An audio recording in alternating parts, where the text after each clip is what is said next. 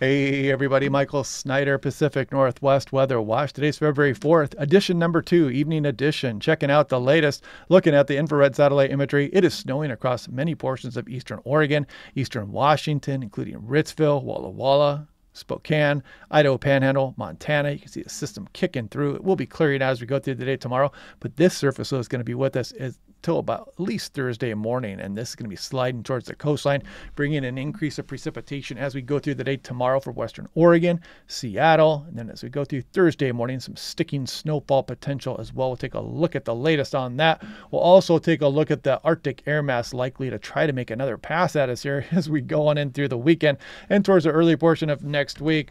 Now, taking a look at the Doppler right now, this is accumulating and sticking snowfall across portions of eastern Washington and eastern Oregon, streaming up across the Idaho Panhandle, western Montana. Big time snowfall amounts, especially for the higher terrain. And you see the more scattered nature of these showers across western Washington, western Oregon as we speak. So, looking at the windy map, you can see our complex surface low out here, a lot of cold air aloft, and you see it's kind of centered right here off the Washington, Oregon coastline. And you can see the offshore component. We're leaking some of that cooler air back out of the east and we're drying things out. And that's going to help with some evaporative cooling as we go through the day tomorrow, for example. Check out the Fraser River outflow. This is moving across the strait. It's picking up moisture and it is depositing snowfall here on the north slopes of the Olympic Mountains. So it pushes into the terrain there lifts, cools, and condenses and brings that snowfall. One of the interesting microclimates here across the Pacific Northwest. Taking a look at the Okanagan River Gap as well. North winds from a cold air conduit from the interior of British Columbia. Purcell Trench out there as well with the northeast winds purely in place here and moving down into Oregon as we speak and then through the gorge. Now, if you want to help support the channel, click on the link down below to save 10% off. You won't be sorry. This weather station is very fun. It's easy to set up. Great smartphone app, ultrasonic anemometer. Highly recommended. Now, looking at dew points across the region, I want to kind of highlight up towards Bellingham where they are in single digits. And again, that very cold, dry air is pouring out of the Fraser River Valley and back into the north slope of the Olympic Mountains here as well. Things have really cooled off. Let me bring up the observations there, and we're just going to go to dew point, throw that on there. So that's the blue temperature. You can see we've cooled things off into the 20s. So that's going to help with some evaporative cooling as the precipitation starts at times over the next day or two. If we go down towards Portland, you can see things 39, dew point 30. There's Newberg at 34. Hillsboro's at 32, freezing right now. So yeah, we are cooling things off a bit. But we got more precipitation coming in here, and I'm going to show it the latest show, uh, the latest model show on that. Looking at Walla Walla Regional Airport, check this out. I mean, you can see the runways are being coated there at the airport. It is snowing currently, and if we take a look up towards Hatton, there's Ritzville, Washington, and I-90. It is snowing. You can see it in the streetlights out there as well. And in fact, if we move up on the I-90 corridor, let's go ahead and click this one and see what it shows. You can see the snowfall, yeah, out there on I-90, at least sticking on portions of it. So be careful out there. The snow is sticking across eastern Washington. Now, looking at western Oregon, they have winter weather advisories up and winter storm warnings for the coastal range. May impact the Wednesday morning commute, so heads up for this. It will be much more difficult to get this to accumulate in the lower elevations, but again, watch out on back roads, and there's a lot of hills out here across western Oregon again, know your elevation. Once you have a few hundred feet of elevation, you're much more likely to see accumulating snowfall. But yeah, there you have it. The winter weather advisory is out. It does include Woodland and Longview up into Washington. There's Battle Ground, there's Portland, Wilsonville, Salem, and Eugene right there. Now, looking at Seattle, nothing out right now that's likely to change as we go through the day tomorrow. The only thing really going on is a cold weather advisory for the cold northeast outflow winds coming across Bellingham and some of the San Juans. Additional snow through Wednesday. You can kind of see the cutoff here across eastern Washington. Again, we saw the snow flying out there, and this is what more you can expect. Some of the heaviest still may be yet to come as we go through tonight for places like Spokane. And then you can see Idaho as you go east, look out past big time snowfall amounts. Again, especially across the higher terrain. A lot of snow flying across eastern Oregon. This is Pendleton National Weather Service. You can see all the highways affected. And again, the higher terrain is just getting a lot of snowfall. So uh, this is good news uh, overall speaking. Just be careful out there. Now, looking across Idaho, Panhandle, and western Montana, look at this. Missoula on the high end of things may get up over a foot of snowfall look at this, maybe half a foot on the low end. So plenty of snowfall incoming. Look at Helena between four and 10 inches as well. So yeah, plentiful snowfall still yet to go as we go through the day tomorrow. Now, looking at the European, the hot off the presses European model, you can see this plume moving across as we go through tonight and tomorrow morning. Some showers start to ride back up into western Oregon, western Washington. As we go through tomorrow morning, be careful because if things are near freezing, it, of course, it does not take much. And it's showing some of the shower activity across western Washington early tomorrow morning. Same thing for western Oregon, especially as you go through the late morning hours. Bit of heavier precipitation across western Oregon. Some of the coastal areas and the coastal range getting some nice snowfall. Again, lowest amounts are going to be for the lower elevations of the Willamette Valley here. Then, as we go through tomorrow evening, you can see some of the stuff setting up here for western Washington. Interesting band setting up here across southern Puget Sound and some of central Puget Sound there. I'll show you what the GFS shows on that here in a moment as well. But you can kind of see that hanging on towards Thursday morning. Then finally that system is out of our hair, but then the next one comes flying up across Oregon, perhaps clipping southeast Washington and off into Idaho and Montana yet again. And then we have another system potentially Friday night into Saturday morning. We'll watch that one over here over the next couple days.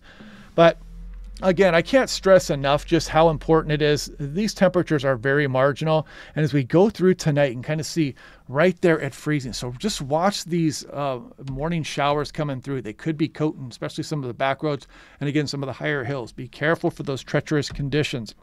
And as we go through the day tomorrow, we get that diurnal warming, but then as we go through tomorrow night, you can see things drop back down towards freezing it makes all the difference in the world if you're getting snow at 33 or 34 versus 31 or 32 because it'll start to stick more readily on uh, the pavements out there. And you kind of see the marginal aspects here across some of the Willamette Valley as the snow is flying tomorrow. So, in the heavier precipitation amounts, you're likely to bring that snow level further down towards the surface. But again, it is going to be quite marginal. And then we go on in through Thursday morning, again, kind of bouncing back and forth between 33 and 32 for Seattle yeah, it's going to be so close. But some of the areas do show it dropping down into the upper 20s as well. So got to be really careful with this. There could be some significant snowfall with this setup here across the central and southern Puget Sound.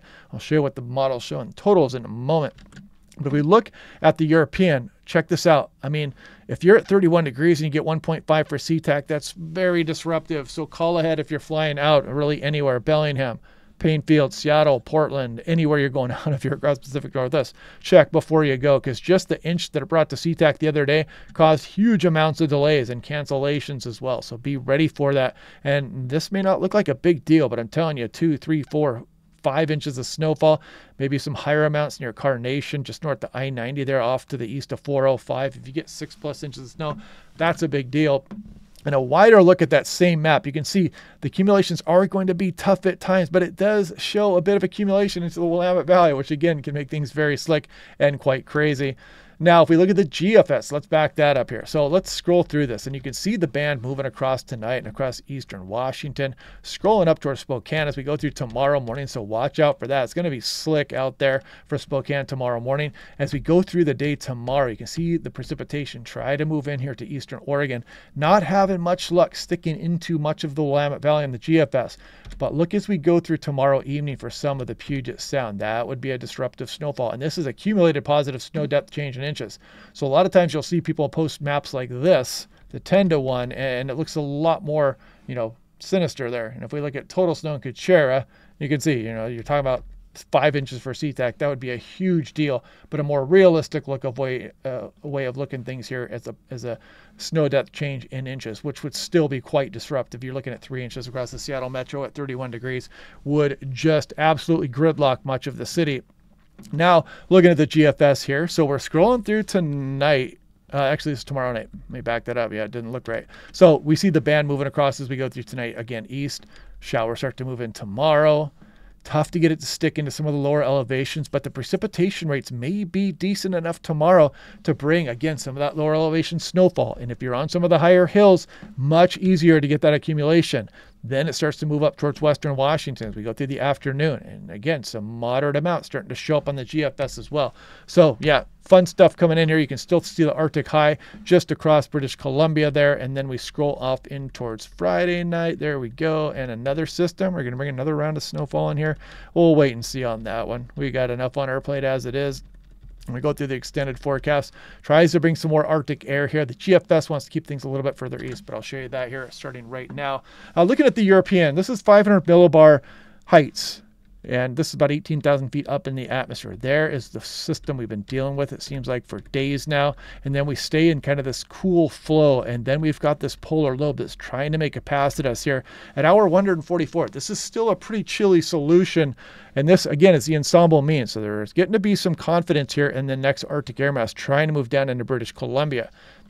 Now, the European, can you guys keep a secret here. Let's just take a look at the 12Z. We're just going to have a little bit of fun with this one, but try not to let this leave the video here. Don't tell your friends and neighbors about this, but take a look at what the 12Z showed. Just some kind of a fantasy forecast here. This polar lobe, that's a big time Arctic blast that would come down. You'd get a powerful Arctic front moving down the Puget Sound. You'd get some accumulating snowfall for that, and you'd get some really cold temperatures in the wake. So it's kind of been hinting at this a little bit here, but the ensemble mean is, again, not this strong, and it's too far out to really get too crazy with that. I just like to share some of these fantasy forecasts at times. It, that is just a fantasy forecast right now.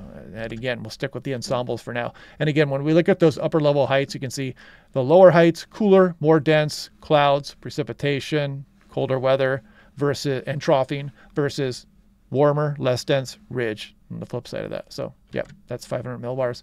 Now looking at uh, the European this is 5,000 feet. This does a nice job when you look at the temperature anomaly of showing the air mass, the Arctic air mass across British Columbia. This is where we are right now. And there's the 12Z European. Again, this is the ensemble mean. This is the 5,000 feet temperature average between all 50 ensemble members. So this forecast is pretty good. This is probably one of the most high confidence forecasts we have is the European ensemble mean. There's our surface low. It's kind of kicking through as we go through tomorrow night and on into Thursday morning. And again, we're kind of being this northwest cold flow. And there goes the next round of Arctic air. The 12Z again on the left 18Z, uh, 18Z on the left, sorry, 12Z on the right. And again, you can kind of see both ensemble means as we go out towards the early portion of next week, continue to have more Arctic air moving down into British Columbia. So this will be interesting to watch, something fun to watch here over the next few days, no doubt. You see not too much of a change between the ensemble members there. Now, if we take a look at the GFS ensemble, this is what we're dealing with now. There's our surface low. There's the cold air up across British Columbia that's leaked out into some of the Pacific Northwest. Put that into motion. There's our low kicking through on the day Thursday little tiny blurb right there, maybe on Friday. But then the next batch of Arctic air. And again, I mentioned the GFS keeps the bulk of that a little bit further east, but this is still pretty chilly air, and we're still caught up in that. So we would remain below normal, even according to the GFS. So we'll see which one ends up being right. And then as we scroll from the GFS, you can see things are still pretty chilly as we go on in towards next week. So uh, yeah, probably a below normal pattern here as we go on in towards next week. Now, looking at the National Blend of Models, I want to show you this. So this is for Wednesday morning, the lows out there. Again, be very careful. If you see any slick spots at all, any moisture on the ground could be frozen tomorrow morning. We go through Thursday morning, 30, 28, maybe the upper 20s there for Portland. Or it's Friday morning. Look at that, pretty chilly out there. Some of the outlying areas down into the teens for Western Washington, even chillier east of the mountains as well. This is for Saturday morning, 29, 29 for Portland, 31 on Sunday. But then as we go to Monday, some of that Arctic air again maybe paying us a visit here. And you see the National Blend of Models also kind of showing that some teens back up here towards southwest BC. And then we stay cool through probably the mid portion of next week at least. And we'll see how that goes over the next few days. Uh, channel's doing great. We're up to 94,674. Uh, maybe we can get towards 100,000 here if we, you know, get some pretty good snow over the next couple days. We'll see how that goes. But I will do my normal briefings tomorrow. Um, yeah, we'll check everything out. We'll see if we get some snowfall tonight. I'll be Doppler radar watching here for the next 48 hours, probably nonstop. Um, but otherwise, I hope you guys are having a good night. Click like and subscribe. We will do this all again tomorrow morning, and I will talk to you guys then.